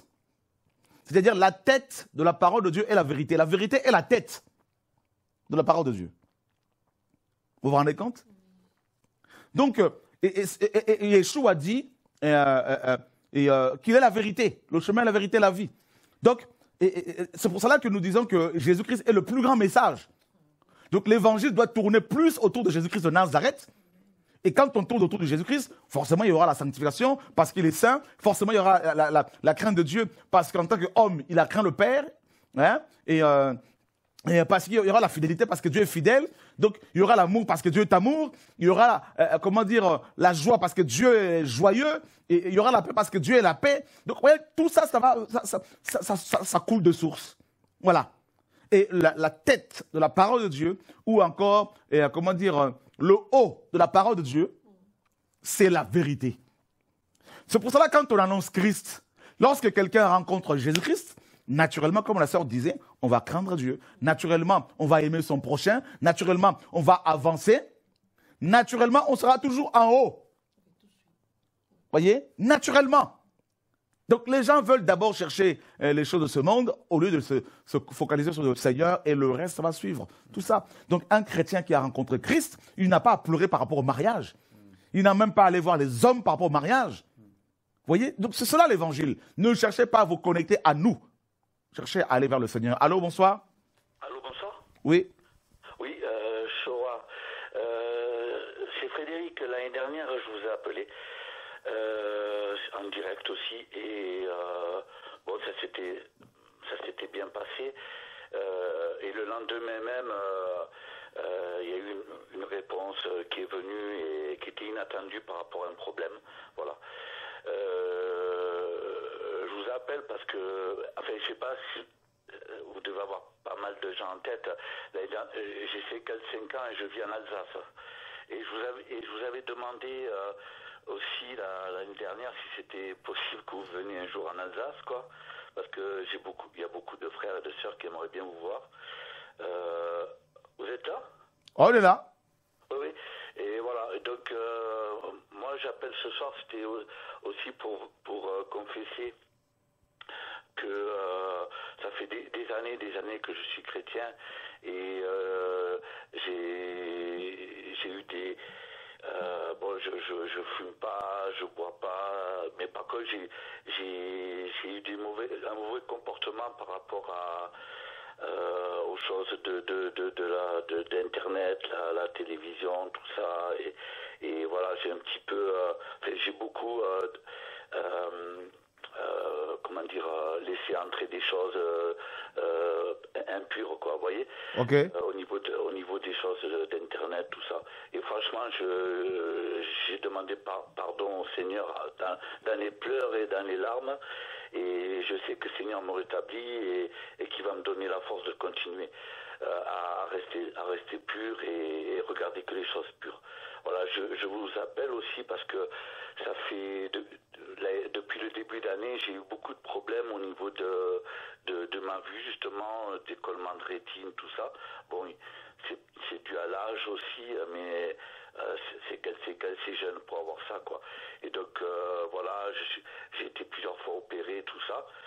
Et voilà que, que, le Seigneur que le Seigneur m'encourage et qui me et qui me guérisse complètement. Pour l'instant, ça va, je peux continuer à travailler, mais voilà.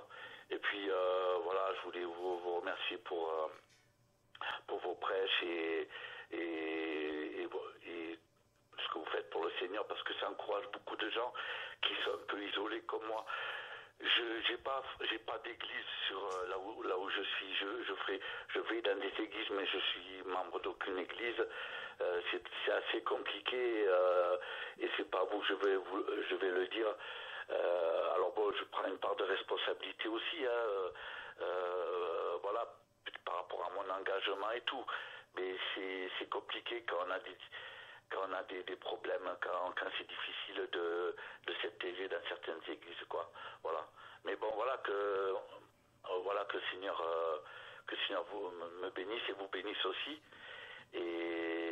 Voilà quoi. Et euh, si je, m'attends au Seigneur euh, pour la pour que dans mes vieux jours, hein, euh, que je puisse le servir pleinement et être un témoin fidèle et, que le Seigneur puisse se servir de moi. Voilà. Gloire à Dieu, frère. En tout cas, bonne continuation et le Seigneur permettra certainement hein, qu'on fasse un tour de nouveau à Strasbourg, en Alsace, tout ça. Et... Ouais, moi je, vis à Mulhouse. Hein. À Mulhouse, il y a beaucoup d'églises.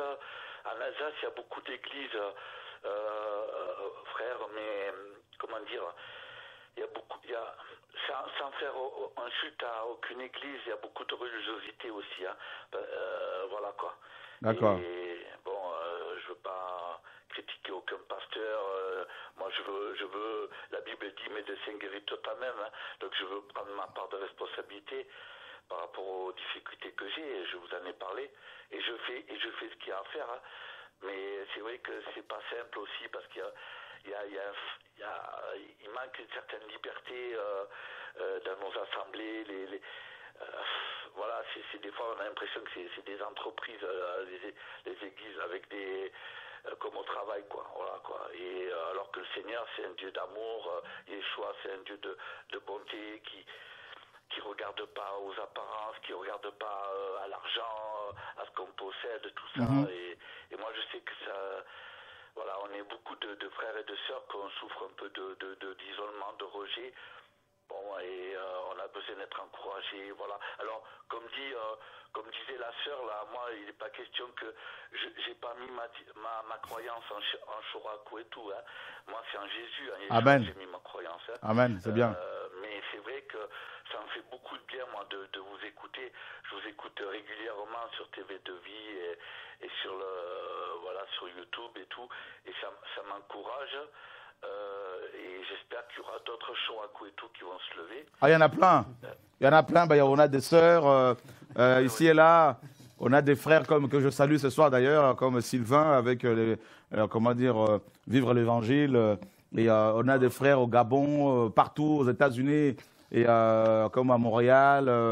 et au Gabon, avec la voix de celui qui crie, par exemple, si vous tapez sur Google la voix de celui qui crie, c'est des frères et sœurs du Gabon, de Libreville, de Port-Gentil, qui se lèvent comme nous, qui prêchent, qui prient, qui crient. Et euh, au Congo-Kinshasa, il y a beaucoup de jeunes, une nouvelle génération qui monte et qui dénonce euh, le péché, qui, euh, que le Seigneur utilise puissamment. Et honnêtement, on n'est pas seul, croyez-moi, et nous sommes toute une, toute une armée du Seigneur.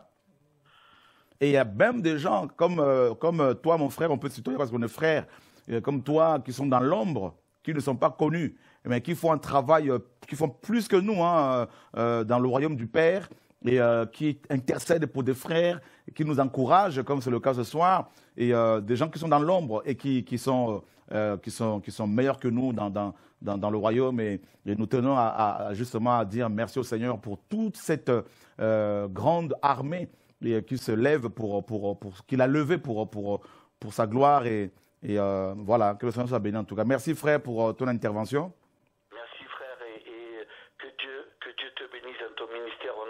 on a vraiment besoin de toi et de ton équipe, enfin des frères qui sont un peu partout dans le monde, qui ont le même état d'esprit. Et franchement, euh, pour, pour, pour nous, là, les, les, petits frères là, qui sont isolés, euh, ça nous fait un bien fou. soyez bénis hein, dans, la soirée, je vais continuer à écouter. Merci. Que, Dieu te bénisse, Chora. Euh, Merci. Sois, béni au nom de Jésus. Au nom de Jésus. Merci, frère. Donc, on a des frères aussi comme l'évangélisation des nations. Hein, donc, vous pouvez aussi voilà, l'évangélisation des nations, c'est des jeunes qui, euh, euh, que le Seigneur a formés et qui, se lèvent pour euh, évangéliser, pour témoigner l'amour du Seigneur. Des frères qui sont du côté de Bruxelles, qui se lèvent aussi. Donc, dans toutes les nations, il y a beaucoup de frères et sœurs. Je vois des frères des États-Unis hein, qui font un travail magnifique et qui envoient beaucoup d'argent aux pauvres, tout ça, et aux frères et sœurs. Il y a beaucoup de biens matériels pour aider, de l'évangile aussi des frères et sœurs en Côte d'Ivoire, des frères et sœurs euh, au Burkina Faso, euh, au Togo, au Mali, euh, au Congo RDC, en Angola, en Afrique du Sud, que je salue, hein, dans les îles, hein, la Martinique, la Guadeloupe, les Caraïbes, la Réunion. En fait, vous êtes nombreux. Hein, au Danemark, en Suède, et, en Irlande, en Angleterre. J'aimerais ce soir vraiment tous nous encourager à, à tenir ferme. Il y a aussi des frères qui sont dans l'ombre ici, en région parisienne. Il y en a beaucoup, des frères comme Poupon. Ils sont dans l'ombre. C'est des prédicateurs de l'évangile que le Seigneur a formés. Ils sont dans l'ombre, ils bossent euh, discrètement, mais ils font avancer le royaume. Des frères comme Serge, dans l'ombre, qui travaillent. il y en a plein, plein de femmes, des femmes du Seigneur, des femmes de Dieu. Il y, a, il, y en a plein, il y en a plein. Et euh, ça essaimé, ça essaime encore. Hein. En tout cas, je rends grâce au Seigneur. On a quelqu'un en ligne. On a encore quelques, minutes, peut-être dix minutes encore. Allô, bonsoir. Allô, bonsoir, euh, frère Chora. En fait, euh, j'appelle parce que. Allô? Oui. Alors, j'appelle parce que par rapport à votre enseignement, vous aviez dit que lorsqu'on est chrétien, on est beaucoup persécuté, des fois même par les membres de nos familles. Et euh, moi, en fait, je sors vraiment de loin j'étais, euh, je ne vais pas dire une bandite ou une criminelle, mais j'ai fait beaucoup de péchés auparavant et le Seigneur, il m'a, il m'a ramené vers lui. Mhm. Et quand le Seigneur m'a ramené vers lui, j'ai voulu ramener les membres de ma famille, ma mère, mes soeurs qui sont musulmanes. Et euh, en parlant de Jésus à ma mère, ça passait pas. Ça, ça passait pas. J'étais vue comme une folle. Personne ne croyait en moi. Euh, il voyait que j'avais changé, j'étais devenue euh, une autre personne, mais il me traitait toujours euh, comme si j'étais du n'importe quoi, tout ça.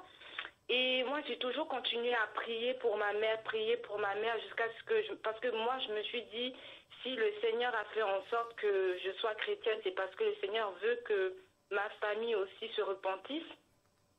Et je prie toujours pour ma mère. Et hier, j'étais vraiment, j'étais vraiment triste au fond de moi parce que je me suis dit, ah Seigneur, moi, tu as permis que je sois chrétienne et voilà, je vois ma mère rester dans le péché, elle est musulmane, elle est, elle est perdue et elle va peut-être finir en enfer. Et moi, ça me rend triste parce que j'aime beaucoup ma mère, malgré le fait qu'elle me descende beaucoup. Et hier, j'ai fait un songe où vous étiez là. Vous m'aviez dit, ne t'inquiète pas pour ta mère. Dieu va baisser le voile. Un truc du genre, j'ai pas retenu euh, la phrase que vous avez dit exactement. Vous aviez dit, euh, Dieu va baisser le voile euh, qu'il y a euh, sur ses yeux. Et là, elle va croire en Jésus.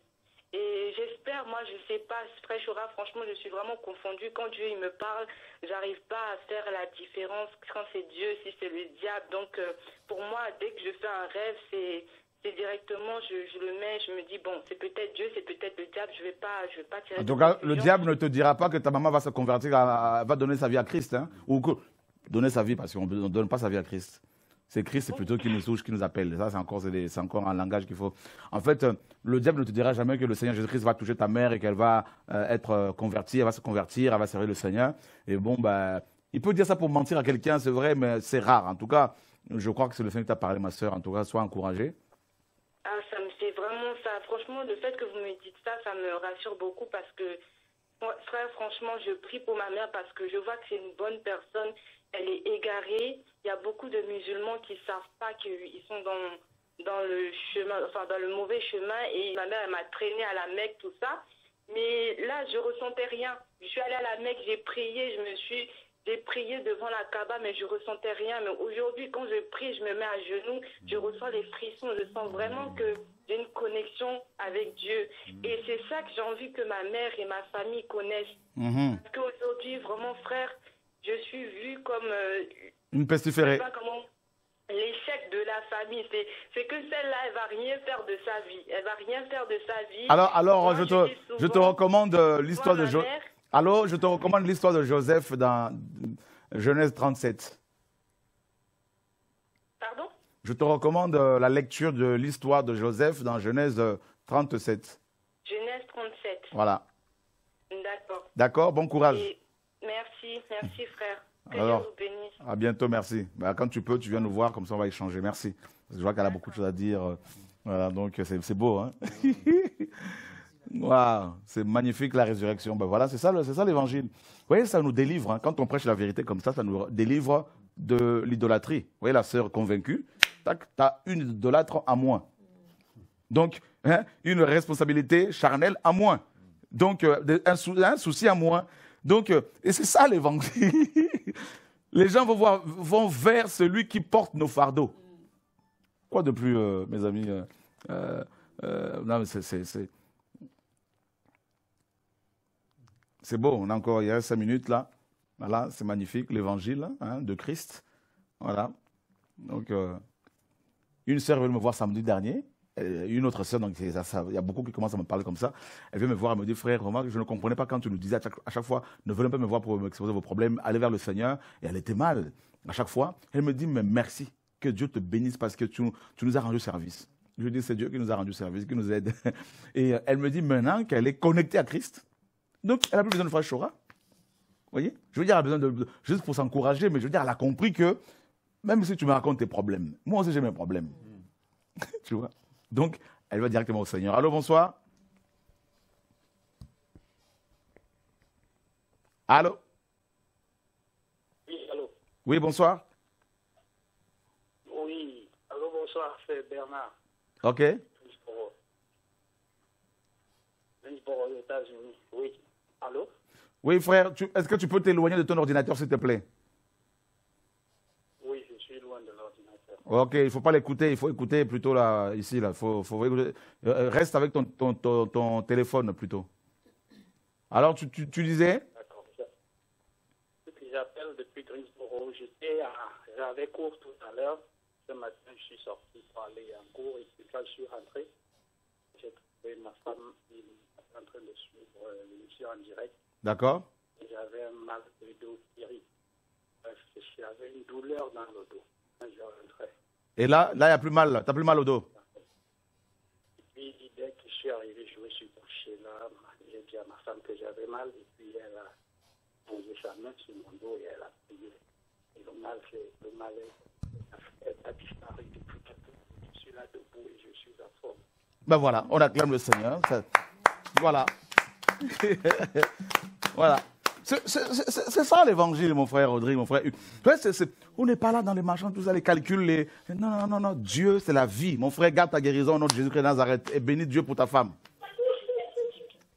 Merci, Vraiment, nous vous suivons ici tout le temps, tout le temps, vos directs. Nous sommes souvent à, à dessus. Et me sens très bien. Malade, totalement disparu. Voilà. que Dieu soit béni en tout cas. Merci, ça, ça nous encourage. Je vous disais que ça me montrait qu'il y avait des gens qui allaient appeler par rapport à la guérison. Ben, le Seigneur euh, confirme sa parole. Et c'est ça qui est magnifique. Les gens sont véritablement guéris. Je me rappelle d'une histoire que j'ai lue. John Wesley, je ne dis pas qu'on est John Wesley, attention, hein, c'était un grand homme de Dieu qui a servi le Seigneur, même s'il y en a qui disent que c'est un sorcier, machin, tout ça. il y a toujours des gens qui sont assis sur leur canapé et qui jugent, ils sont devenus juges des vivants et des morts. Hein au point de juger même les Kakou qui sont morts il y a 15 ans en disant que c'est des sorciers. Quand même, il faut le faire, hein, mes amis. Là, Et ils se réjouissent de la mort des gens. Hein. donc, euh, quelqu'un qui meurt, c'est quand même grave de voir à quel point les gens dérapent. Jésus-Christ est le seul à avoir été, qui, est le seul à être juge des vivants et des morts. Hein? Il faut apprendre à respecter les gens. Dénoncer le mal, oui, mais quelqu'un qui est mort il y a 15 ans, tu n'as pas connu cette personne-là, tu ne l'as pas rencontré. Tu suis un témoignage d'un sorcier qui dit que ce monsieur était sorcier, hein, ce prédicateur était sorcier, euh, avait la magie, et tac, on commence à dénoncer. Eh, eh, mes amis, là, on est dans quel monde? C'est la confusion généralisée. Parlons-nous, parlons de Christ, parlez-nous de Christ, de Jésus-Christ de Nazareth. Et c'est lui qui sauve. Il y a des guérisons qui s'opèrent, il y a des délivrances qui s'opèrent. Voilà. Qu'est-ce que les gens vont à chercher à savoir? Un tel est mort il y a, 20 ans, c'était un sataniste, tout ça, machin, tout ça. On va faire une, émission là-dessus. Il faut le vouloir en tout cas. Il faut lire la Bible, il faut méditer la parole, recevoir euh, prier le Seigneur, recevoir des enseignements du Seigneur pour le communiquer aux gens, pour avoir la vie. Voilà l'évangile. Voilà. Et quand on les invite à la confrontation, les gens disparaissent après. Donc nous, on ne veut plus de distraction, là, on veut rester sur Christ, sur Jésus-Christ de Nazareth, et dénoncer le mal, bien sûr. On dénonce les faux prophètes, les faux bishops, là. On le fait. Ça, mais on ne veut pas le faire de manière charnelle. Allô, bonsoir. Allô Oui Oui, bonsoir. Oui, bonsoir. J'appelle pour remercier le Seigneur puisque j'avais mal au dos, je suis rentrée du travail, je commençais à écouter euh, l'enseignement. J'avais très très mal au dos, j'étais très fatiguée, plus que j'écoutais, la fatigue passait, le mal de dos passait petit à petit, plus que j'écoutais, et là c'est bon, c'est réglé. Voilà, gloire à Dieu. Je voulais donner gloire au Seigneur. Bonne soirée, merci. Gloire, à Dieu, ma soeur, garde ta guérison. Oui, c'est ça. C'est ça. C'est à cause de ça que les gens sont jaloux, tout ça. Non, on va, on va jalouser Dieu. C'est pas moi qui fait, c'est Dieu qui fait les choses. Non, on parle ce soir-là, calmement. On ne crie pas, on n'a pas transféré. On n'a pas mis un chant d'abord avec un, son euh, hein, mélodieux, tout ça, pour exciter les gens. Non, pas du tout. Le Seigneur lui-même, c'est la vie. Là, il y a la vie. La parole, c'est la vie. Voilà. C'est la vie. Vous voyez On va encore, donc les 10 minutes sont écoulées. Il est 21h. Donc, euh, il y a encore des guérisons qui s'opèrent là. Il y a encore des gens qui sont restaurés. Vous allez voir même des couples qui ne se parlaient plus. Hein. L'homme va commencer à parler à sa femme, inversement, des restaurations. C'est cela l'évangile. Voilà. Hmm? Des jeunes qui viennent, hein, des jeunes qui viennent, ils disent, euh, des jeunes de 16 ans, de baptême, des enfants de 8 ans qui disent, non, on veut le baptême.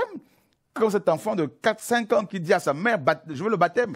Sa maman prenait ça en rigolant, euh, la, rigolade, tout ça. Et la, fille, elle dit, maman, quand même, moi, je veux sur Jésus, tout ça, je veux mon baptême, là. je te dis. Non, mais c'est magnifique. Les gens sortent des eaux du, baptême en parlant langue, en prophétisant les démons. Mais c'est impressionnant, frère. Impressionnant. Il n'y a que Jésus qui peut faire cela. Voilà. Allô, bonsoir.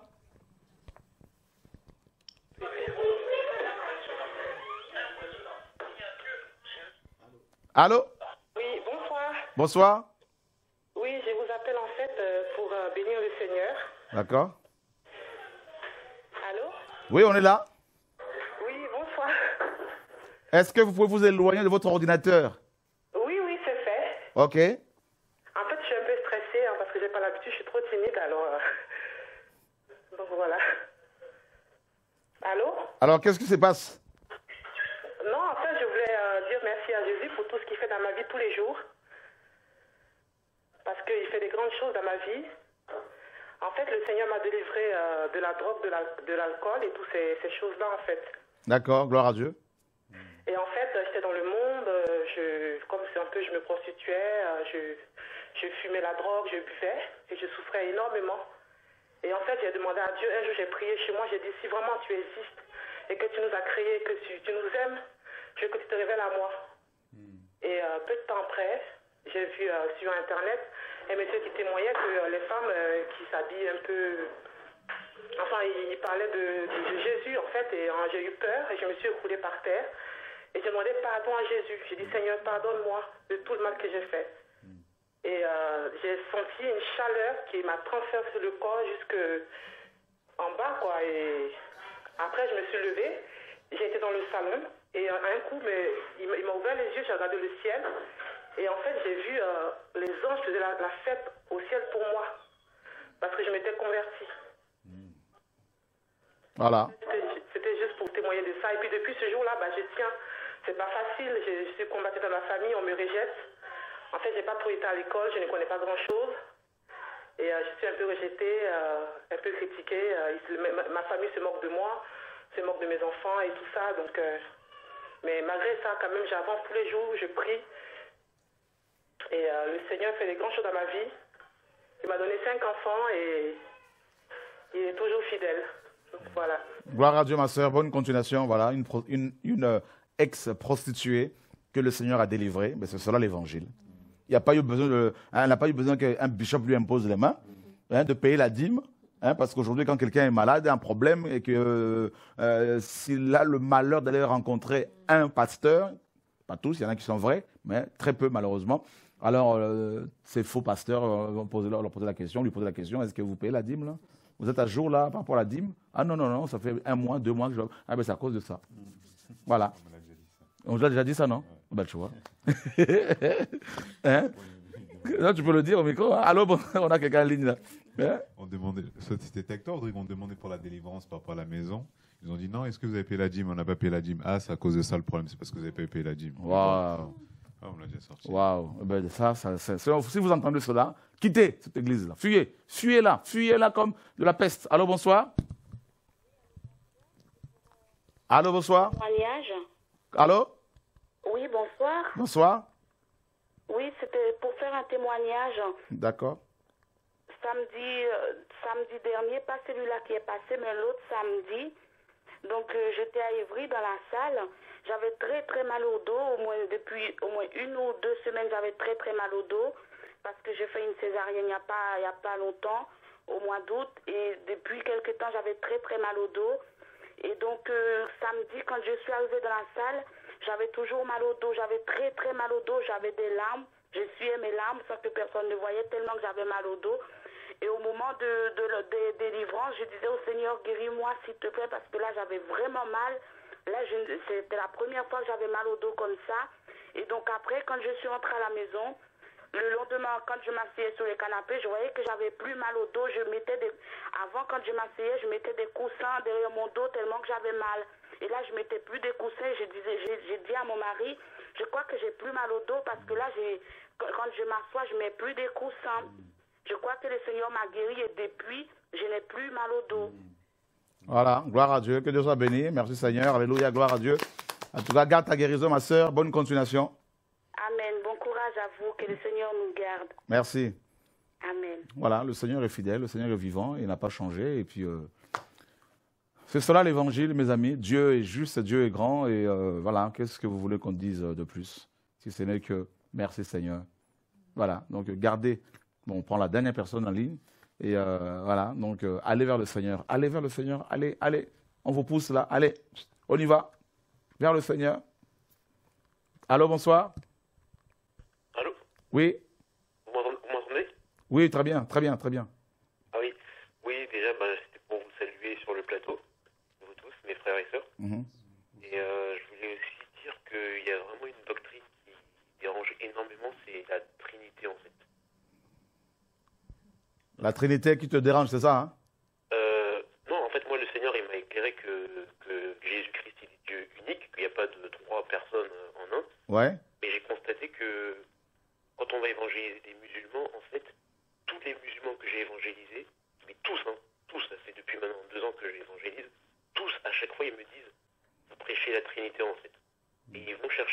catholiques et en fait, il y a comme un, un problème en fait quand on leur dit que Jésus, il est Dieu unique. Ils disent non, non, non, il y a trois personnes en un en fait. Voilà, comme ce produit euh, trois en un. Voilà, c'est ça. Et je voulais simplement dire que bah, la Trinité, ça fait vraiment du mal. Euh, quand on va parler à des musulmans, ils nous ressortent ça à chaque fois et il y a vraiment euh, du gros travail à faire par rapport aux musulmans. Voilà, par rapport aux musulmans, par rapport aux juifs également. Et, et voilà, donc Satan est très, très bien organisé. Hein. comme le Seigneur l'a dit, son royaume n'est pas divisé. Et, il a réussi à inspirer aux hommes cette doctrine démoniaque. Et hein, ils sont accrochés à cette doctrine-là. Alors qu'on a vu, quand Paul disait, quand il enseignait, il disait euh, selon les Écritures. Hein. Mm. Et euh, eux, ils disent selon la tradition des hommes. Euh, et quand ils sont coincés, quand ils n'ont pas d'argument, parce qu'on ne peut pas avoir d'argument pour expliquer, il n'y a pas d'argument pour expliquer cette doctrine complètement, mes amis, cousue, conçue dans l'utérus de la Babylone la Grande. donc il n'y a pas d'argument quand ils sont coincés, bah, ils disent c'est un mystère. Alors que le plus grand mystère dans la Bible, c'est le mystère de la piété. Hein, selon 2 Timothée 1 Timothée 3,16, et ce mystère a été révélé. Hein, Dieu manifesté en chair. Donc, euh, et euh, alors je ne sais pas où est-ce qu'ils ont vu dans la Bible qu'il y avait un mystère qui s'appelait la Trinité, la Sainte Trinité. Voilà, bref, mon frère, en tout cas, bon courage et. Euh, bon courage. Voilà, donc que le Seigneur soit béni. Merci.